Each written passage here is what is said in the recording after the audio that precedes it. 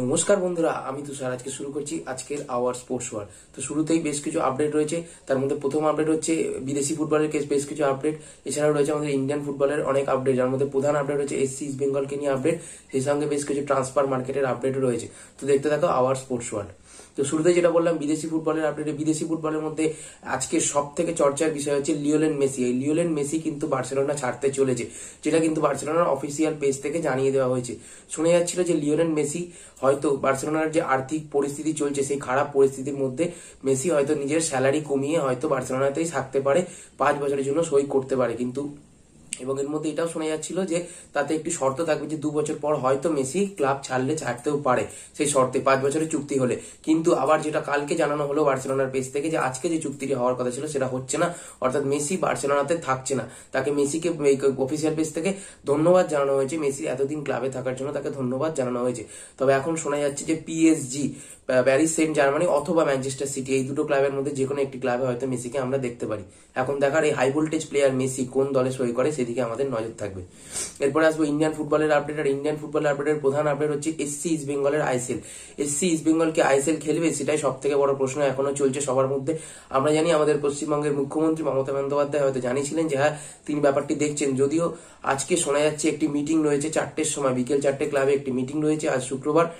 এই মিটিং এ হয়তো সিদ্ধান্ত হতে পারে যে SC East Bengal term series সই করবে কিনা এবং কি কি শর্তাবলী তারা পরিবর্তন করতে চায়। এই নিয়ে ফাইনাল মিটিং হতে পারে। আজকেই হয়তো সিদ্ধান্ত হবে যে এসি ইস্ট বেঙ্গলের এরপরে আমরা খেলায় দেখতে পাবো ফুটবলে কি পরবর্তীকালে কি আপডেট আসে সেই দিকে আমাদের নজর থাকবে।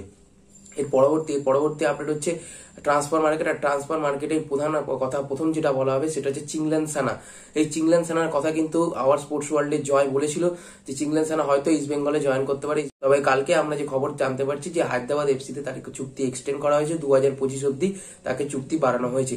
অর্থাৎ বলা যায় চিংলেন সানা হায়দ্রাবাদে থেকে গেলেন দু হাজার পঁচিশ অব্দি এর পরবর্তী খবর হচ্ছে জুয়ান মেরা জুয়ান মেরা গঞ্জালেস। আমরা জানি যখন কোয়েস ইস্ট বেঙ্গল ছিল, আই লিগে খেলতো Quess East Bengal Quess East বেঙ্গলের হয়ে কিন্তু নয়নের মনি ছিল সমর্থকদের, জুয়ান মেরা গঞ্জালেস, দারুণ প্লেয়ার ছিল। আমরা দেখেছি, যেমন তিনি ফ্রি কিকে দক্ষ ছিলেন তেমনই বক্সের মধ্যে তার দারুণ আনাগোনা ছিল।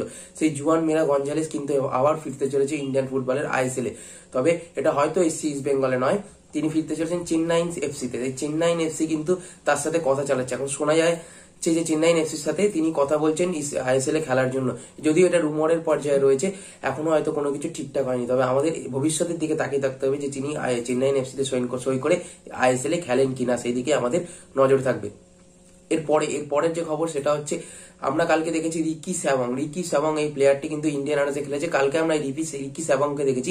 এটিকে মোহনবাগান টিমের সাথে প্র্যাকটিস করতে।